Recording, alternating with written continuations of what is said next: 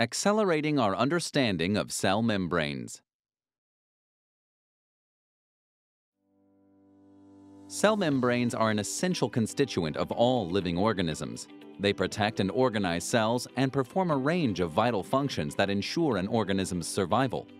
The two fundamental components of cell membranes are proteins and lipids, which form a diverse and complex system connecting the membrane to the wider cell. Interactions between cell membrane proteins and between proteins and lipids play vital roles in myriad biological processes.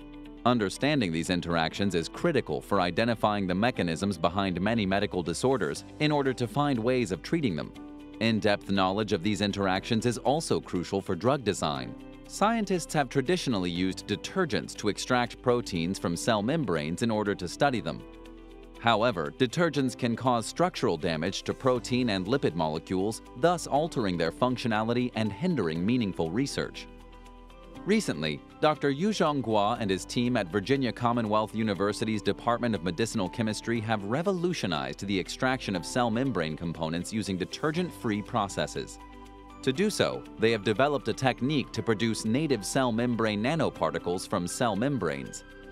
In this technique, the team uses polymers that form nanoparticles when they come in contact with cell membranes.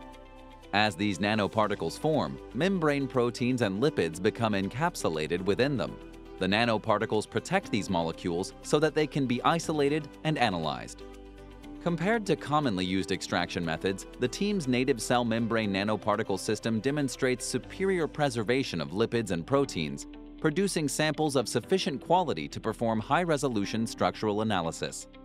Dr. Guo and his team use a number of different polymers that can form nanoparticles and encapsulate membrane components for analysis, Indeed, the significant differences in cell membranes between animals, plants, fungi, and bacteria mean that it is likely impossible to obtain a single polymer that would protect the structures of all membrane proteins and lipids.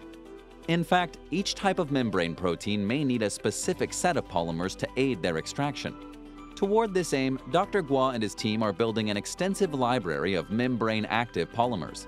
This library will enable researchers across the globe to choose the most appropriate polymer for the specific protein or cell type they wish to study.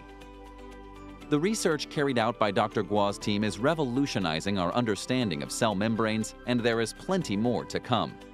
This exciting area of biological research holds much promise for advancing the study of cell membrane components and their fascinating interactions.